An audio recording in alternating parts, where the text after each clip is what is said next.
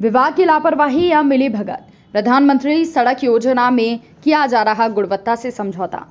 ज़िले की राधोगढ़ विकासखंड में खराई से किशनगढ़ रोड छह दशमलव अट्ठावन किलोमीटर में प्रधानमंत्री सड़क योजना के तहत ठेकेदार राजलक्ष्मी कंस्ट्रक्शन गुना के द्वारा अन्य ठेकेदारों को पेटी पर काम देकर बनाई जा रही है। सड़क निर्माण में भारी अनियमितता और भ्रष्टाचार किया जा रहा है। ये सड़क परियोजना इकाई महाप्रबंधक मध्य प्रदेश ग्रामीण सड़क विकास प्राधिकरण क्रियान्वयन इकाई दो गुना के नेतृत्व में बनने के बावजूद सड़क का निर्माण कार्य घटिया तरीके से किया जा रहा है। खास बात यह है कि जो सड़क डाली गई है, उसमें दोनों तरफ़ से ठेकेदार के द्वारा जेसीबी मशीन से खुदाई कर उसी सड़क की लेबल भी बनाई गई है, जिसमें सड़क के दोनों तरफ़ बड़े बड़े गड्ढे हो गए हैं, जो किसी खाई से कम नहीं नज़र आ रहे। दरअसल मामला ग्रामीण विकासखंड मंत्रालय, भारत सरकार के द्वारा कराए गए निर्माण कार्य में ठेकेदार के द्वारा गुणवत्ता से समझौता कर भ्रष्टाचार किया जा रहा है।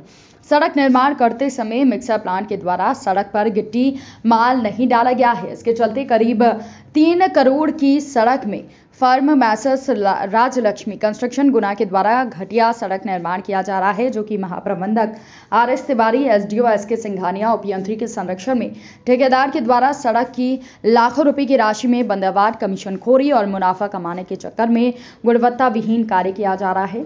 सड़क निर्माण के समय विभाग के टेक्निकल जीएम सहायक यंत्री उपयंत्री के द्वारा समय समय पर निरीक्षण नहीं किया गया। सड़क के दोनों ओर से मुरम खोद कर सड़क का भराव किया गया है, जिससे सड़क हादसों की स्थिति ज़्यादा बन गई है। जबकि ठेकेदार को मुरम खोदने के लिए नियत स्थान पर लीज से परमिशन लेनी पड़ती है। यहाँ पर विधिवत सड़क बनाने के लिए ठेकेदार के द्वारा मुरम निकाली जाती है। सड़क निर्माण कार्य के साथ पुलिया का जो निर्माण कार्य किया गया है, वो भी गुणवत्ताहीन किया गया है, जिसकी तराई भी ठीक से नहीं की गई है। पुलिस के नज़दीक ही, पुलिया के नज़दीक ही एक गड्ढा हो गया है, डामर भी उखड़ने लगा है। डामर के नीचे धूल युक्त बेस दिखाई दे रहे हैं। उक्त सड़क तय मानकों के अनुसार नहीं बनाया गया है। सड़क निर्माण कार्य में मध्य प्रदेश ग्रामीण सड़क योजना के अंतर्गत निर्मित ग्रेवल मार्ग डामरीकरण का बोर्ड लगाया गया है। ये संकेत बताते हैं कि ये सड़क एक प्रधानमंत्री सड़क योजना से है।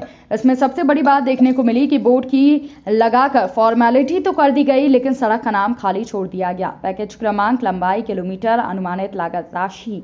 कोई जानकारी इसमें अंकित नहीं है। इस संबंध में जब मध्य प्रदेश ग्रामीण विकास प्राधिकरण अधिकारी आर एस तिवारी से बात की गई तो उन्होंने बताया कि आप बता रहे हैं, मैं सड़क दिखवा लूँगा। अभी कार्य चल रहा है, लागत राशि की बात रही तो उस सड़क का पैकेज है।